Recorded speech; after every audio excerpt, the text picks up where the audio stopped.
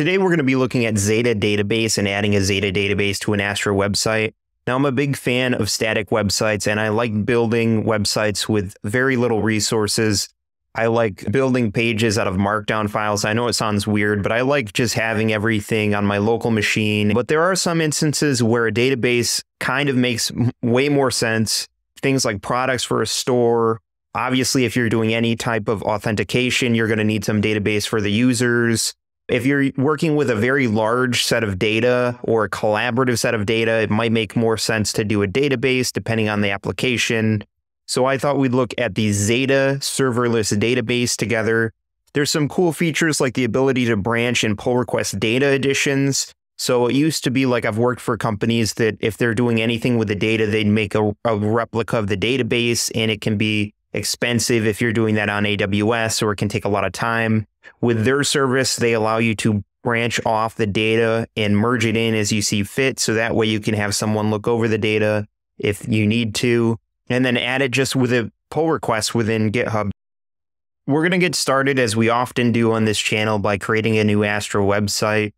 You should note that you can add Xata database to an existing Astro website, but I like starting the project with a clean slate. So we're going to run npm create Astro at latest.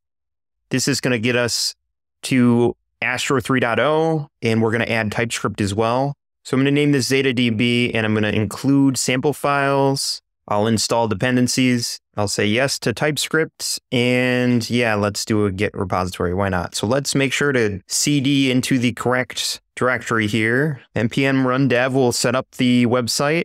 Before we can get started with Xata, we'll need to create an account and we'll need to get a few values to use for the project like our API key and our database URL. So here I am at Xata. I'm going to sign up for free, just using the free account. I'm going to name my database Astro Test.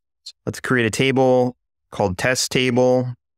I'll do this camel case. So it's saying after you build your data, run Xata init. So we have to install the CLI tool. So I'm going to do that using this command, npm install xata.io slash CLI dash G for the global flag.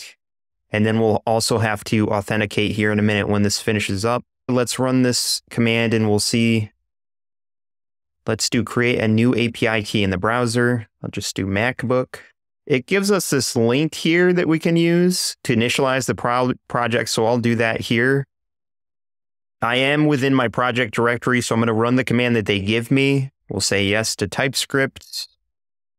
All right, so let's start building. I think we, I think they'll allow us to generate random data. Yeah, here we go. 25 rows. What's cool with this service is there's a playground. So there's like, this is kind of like if you've ever used Postman to do test calls. So they give us some information here to try, and here's all the return information. And what's cool with the setup with Xata automatically added the .env file. So here's the API key that it generated for me.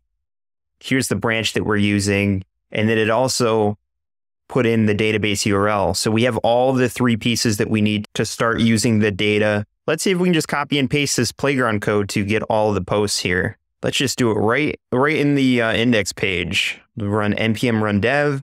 And here it is. So here's all the information from the database. We just did some test data. So let's see if we can do, let's see if we can do another table. All right, I found this code on Gist. It's a book CSV. Let's see if we can download this. So there we go, books. This is, this looks good. Title, author, genre. This looks good. Import this. We need to update the Xata TS file, which is right here. What we're doing in VS Code is we're importing Xata clients. We're setting the environment variables for API key and branch, which were generated for us in the ENV file. As a side note, I did do a whole video on .env files, so I'll leave that link below if you want to refresh on some of the aspects of the ENV file within Astro. We're setting page to await xata.db.books, which is the name of our DB. So this has to match the actual DB name, the table name. And we're selecting ID and title from the DB. We're going to say get pagination. Pagination size is 15. So this will dictate how many rows of information are provided. So we can change this, let's say to 25, and there's a longer list. Let's change it to just five. There's a shorter list. And I am just mapping over page.records.map. We're mapping over the books and we're providing the book title. The linter doesn't like that I don't have a type assigned to it, but that's fine. So yeah, this is the information. This is coming from the database. Let's see if we can update this and let's see if it processes. Let's change that field here and refresh. There it updated from the database. So yeah, we can do, we could change this to author if we wanted. Here's a list of authors. Pretty easy and simple connection to Xata and Astro. It's pretty quick. Here's 50 authors from this sheet. So yeah, I hope this was helpful. This would be a good starting point towards working more with databases if you want to do more backend stuff. I do eventually want to do videos on user authentication, so this is kind of the stepping stone to get to there. I hope this was helpful. We didn't really look at the branch features or anything, but it is cool that you can make branches. There's a migration system, it looks like. There's integration with Vercel, Netlify, and GitHub. Yeah, so pretty cool. They let you do a little bit with the free account. I'd encourage you to check it out and try it yourself. It was pretty quick and simple to get through. Thank you so much for watching, and I'll catch you in the next video.